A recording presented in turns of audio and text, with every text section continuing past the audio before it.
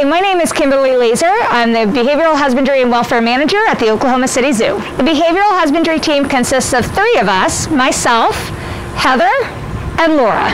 One of the key components that my team is responsible for is monitoring animal behavior so that we can assess animal welfare here. We use a lot of different methods to be able to look at our animal's behavior. One of my favorite mentors said, the first thing you have to do is just look at the animal. So we spend a lot of our time going out and watching the animals, seeing what they are telling us, and then we then can make the choices that we feel is going to improve or help their welfare. So my team resides in our behavioral husbandry lab. This is a space that we utilize to bring all of the magic together to be able to do our job the best that we can. It allows us to be able to come together and discuss what's going on with the animals at the zoo.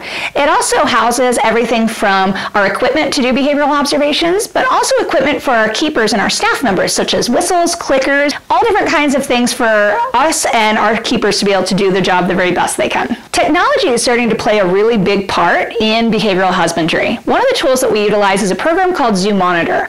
We're actually able to go in and look at the animal's behavior and record it in this program. And it creates wonderful graphs that we can really compare animals to see what their behavior is, how they're spending their day, and where they're spending their day. So a recent observation that we did was on our chimpanzee social group. And what we wanted to do is we wanted to see what all of our animals were doing with their day. Um, it's called a behavior budget. And then also where they were spending their time in the habitat and who they were hanging out with, who was friends, in this aspect, we have all of our animals in our social group listed, and we can go ahead and start what we call our scans. So for instance, when the timer goes off, we'll be able to mark that maybe Cindy was doing something like um, resting. Another way that we use the system is to look at our animals over time um, as they get older. You know, we are very fortunate that we um, get to spend a lot of time with our animals and our animals go into longevities that maybe they don't experience in the wild. So we have our animals who are able to um, get into geriatric care, but of course, just like you and I, as animals get older, their needs change. So we want to be able to monitor those needs to be able to see what has changed with those animals so that we can know exactly what they're doing and what we need to do to provide the absolute best care possible for them. So one of the animals that we're looking at right now is one of our older animals, Bamboo. She is one of our female elephants who's in her 50s, which is wonderful wonderful. That is the golden age of life. But we know that she's getting a little older as she gets up there. So one of the things we want to look at is how she's spending her day and where she's spending her time. So this after we do our observations, we're able to run a report to see exactly how much of her habitat she's using. And from this map, you can actually see she actually uses all of her habitat throughout the day and the years.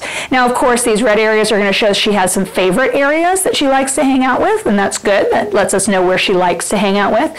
But what we're looking for is the fact that she really does utilize all areas of her habitat throughout the year and throughout the day, which is exactly what we would expect from her. Another tool we use is observation cameras. These are cameras that are used both for observing animals in the wild, but also animals in human care. A lot of times we can't be around our animals 24-7, so these cameras give us an insight into the animal's day even when we can't be with them physically. One of the instances we used this in was when we had our brand new Tanuki join us when we opened Sanctuary Asia. We were integrating those animals into a brand new habitat and we wanted to make sure that they were utilizing that habitat correctly and that there was no issues going on. Well, Tanuki are nocturnal, so unless we wanted to spend a lot of sleepless nights here, one of the best ways to be able to look at their behavior was to set up some trap cameras and look at those cameras in the morning.